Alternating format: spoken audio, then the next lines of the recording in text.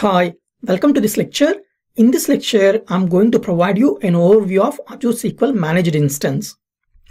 Azure SQL Database Managed Instance is a new deployment model of Azure SQL Database based on vCore based purchasing model.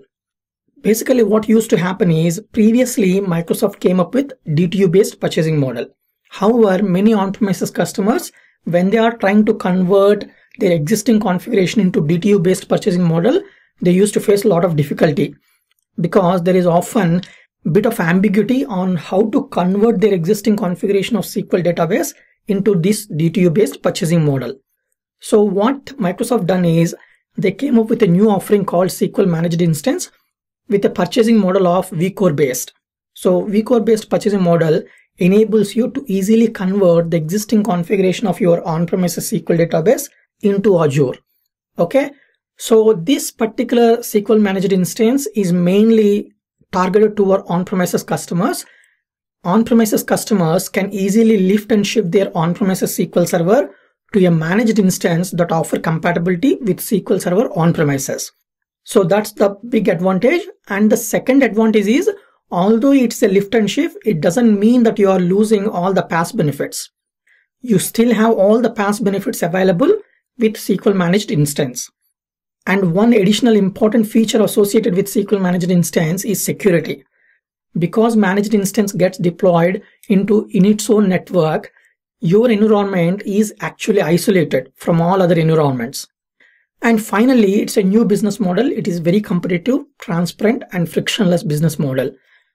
Basically, if you have SQL Server licenses, then you can recycle them and use them in Azure. Basically, the overall cost of this managed instance will come down by 30% if you are using your on-premises SQL Server licenses. So let's go through this security thing in bit more detail. Managed instance provide additional security isolation from other tenants in the cloud. So this security isolation basically includes a native virtual network implementation and connectivity to your on-premises environment using either ExpressRoute or VPN gateway.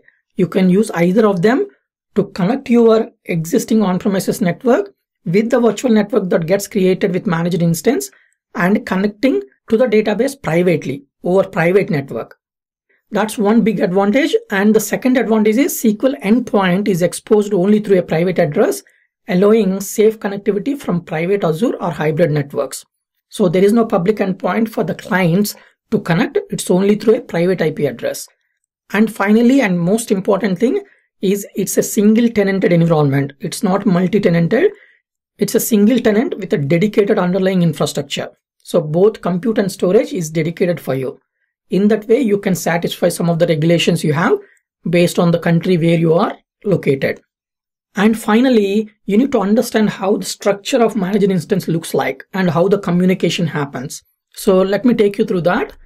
Firstly, when you create managed instance, a virtual network will get created, which will have front-end subnet, gateway subnet, and managed instance subnet and the node that you deploy as part of managed instance creation will get deployed into MI subnet. Each node is basically consists of SQL engine and SQL management. And basically within the same network, you can deploy multiple nodes also. And these multiple nodes will form a virtual cluster with gateway servers. And this entire virtual cluster will have two endpoints. The first endpoint will be for client connections. Whenever the clients, whether it is applications or users want to connect to the database, they can use this endpoint, which is basically mi underscore name dot dns zone dot database dot windows dot net.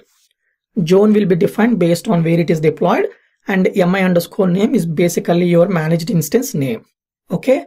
And the second endpoint is a public endpoint, but will be used by Microsoft in order to manage this environment because Microsoft is responsible for managing this environment, they need to connect to this environment using some automated script or something like that and manage it. For that purpose, there will be an endpoint.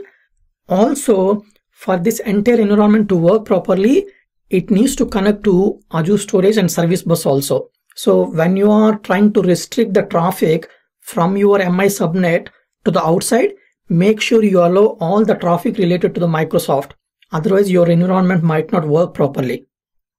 And finally, in terms of client connections and applications to connect to the database, they can reside in front-end subnet and connect to the database or they can reside in a peered network.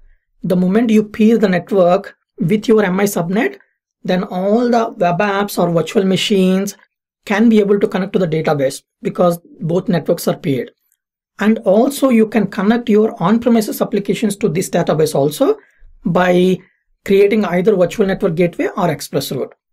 Via that also you can connect to the database. Basically, all the connections, whether it is from web apps, virtual machines, or on-premises applications, all of them are communicating with the database over a private connection. So this is how the communication happens. This is very similar to the app service environment if you are aware of it. Basically, they provide the similar concept in database environment also, which they are labeling it as managed instance. Okay, so that's it for this lecture. In this lecture, I have taken you through managed instance, its features, and what is the advantage from security perspective, and also how everything structured together to deliver managed instance service. I hope you find this lecture useful.